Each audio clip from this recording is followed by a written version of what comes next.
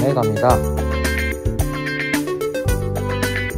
겨울을 지나온 흔적들이 아직은 공존하네요.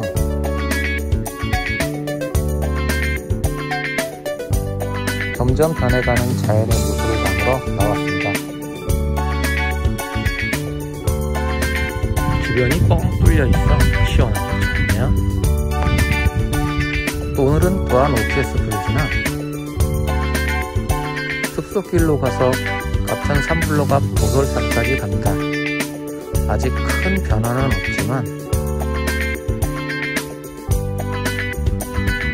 스멀스멀하게 올라온 풀들이 신선해 보입니다.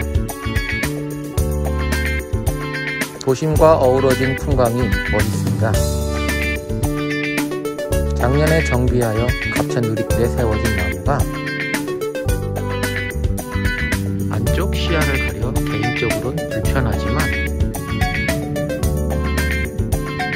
걷는 사람 입장에선 좌우를 감싸는 포근함이 좋을 것 같다는 생각도 듭니다.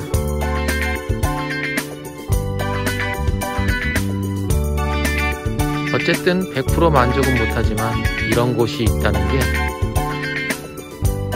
행복하고 좋습니다. 이곳에서 오른쪽 숲길로 가보겠습니다. 자연은 한 곳에 있지만 볼 때마다 자연의 향기가 좋네요. 좌우의 풀과 나무가 여름이 되면 무성해지죠. 그래도 지금은 다닐만합니다. 아파트 입주도 많이 돼서 제법 북적대기도 하죠. 이런 길을 가다가 만나는 꽃, 나무들은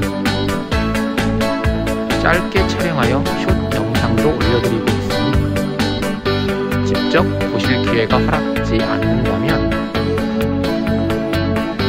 대리 만족으로 느껴보시길 바래요. 이곳 생태계가 오래 지속되길 바랍니다.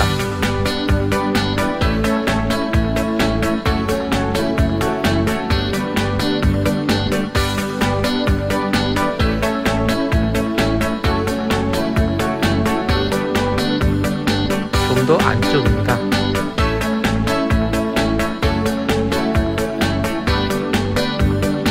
오른쪽엔 갑천자락 하천도 있습니다. 나무 그늘이 예술이죠.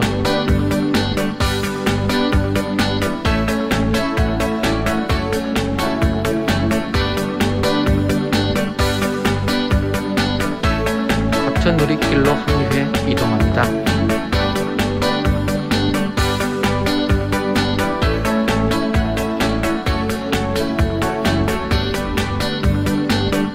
반대편 둘레길은 강추입니다.